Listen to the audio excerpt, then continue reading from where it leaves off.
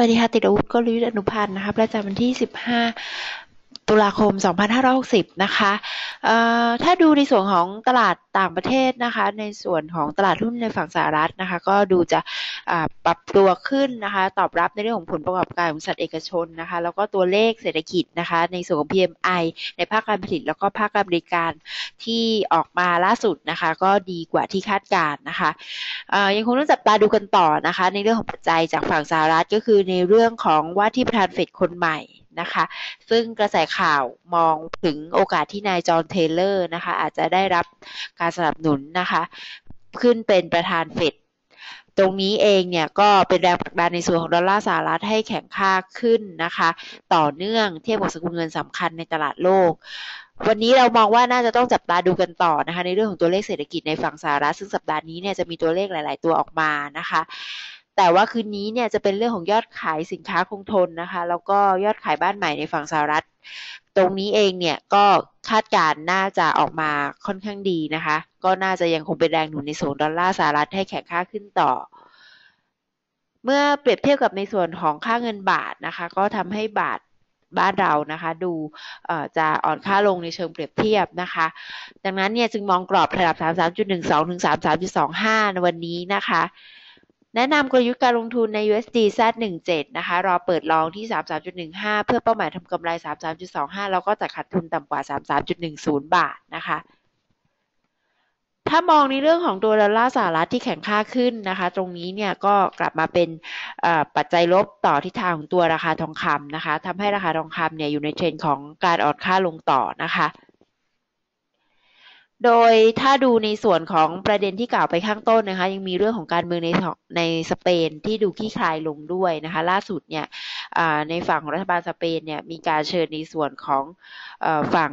แคว้นกาตาลุญญานะคะมาหารือนะคะในเรื่องของประเด็นที่จะประกาศแยกตัวนะคะจะต้องจับตาสถานการณ์กันต่อนะคะ ในส่วนมุมมองการแข่ตัวทางเศรษฐกิจโลกของนักลงทุนนะคะ ก็ยังดูเป็นปัจจัยที่ทำให้มีแรงเงินไรเข้าไปในสินทรัพย์เสี่ยงนะคะ ทองคำก็อาจจะลดบทบาทลงในระยะสั้นนะคะมองกรอบการเคลื่อนไหวนะคะ1,270 ถึง 1,285 นะคะ ถ้าหลุด 1,270 ก็ยังมีต้านรับถัดไปที่ระดับ 1,265 เหรียญนนะคะ เนื่องจากว่า Go Future นะคะซีรีส์ V นะคะ GF 1 0 V 1 7กำลังจะหมดอายุสัญญานะคะ ตรงนี้เองเนี่ย เราแนะนำว่าสถานะช็อตที่เปิดเอาไว้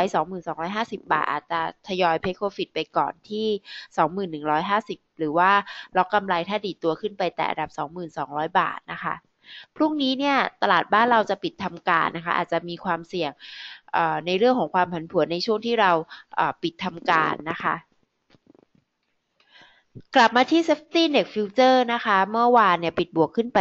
7.50 จุดนะคะชำระราคาช่วงเย็นที่ระดับ 1,090 จุดนะคะ ก็ได้แรงหนุนจากเซนิเมนต์การลงทุนจากภายนอกนะคะ วันนี้ก็ยังมองประเด็นดังกล่าวเนี่ยยังเป็นแรงหนุนในส่วนของ Safety Index Future นะคะ S50 Z17 แม้กรอบการเคลื่อนไหวเนี่ยค่ะอาจจะยังไปไหนได้ไม่ไกลมากนะคะ เนื่องจากว่าพรุ่งนี้เนี่ยเป็นวันหยุดของเรานะคะ ก็อาจจะมีแรงขายลดความเสี่ยงออกมาบ้างเหมือนกัน แต่ถ้าดูในเรื่องของอทิศทางของหุ้นกลุ่มพลังงานนะคะ วันนี้น่าจะได้รับแรงหนุนจากตัวเลข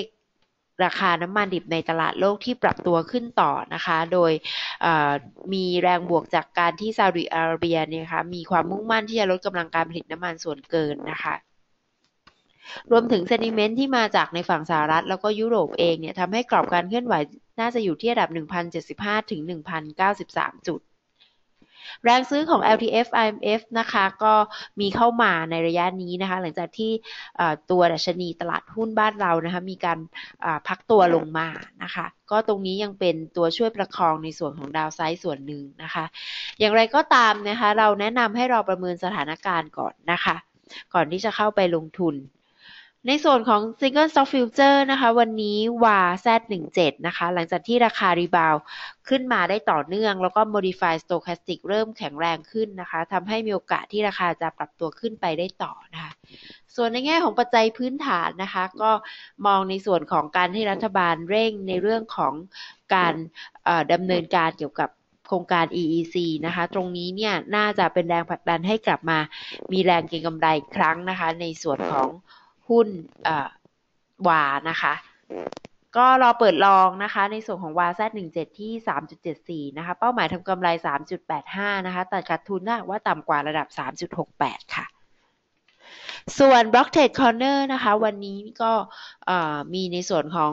หุ้นที่เข้ามาติด ในฝั่งของ bullish นะคะ หรือว่าแนวโน้มที่จะปรับตัวขึ้นนะคะ มี 5 ตัวนะคะ สามารถติดตามได้นะคะ ในส่วนของรายงานฉบับเต็มนะคะ แล้วกลับมาพบกันใหม่นะคะ ในวันศุกร์สำหรับติดอาวุธกลยุทธ์อนุพันธ์ค่ะ สวัสดีค่ะ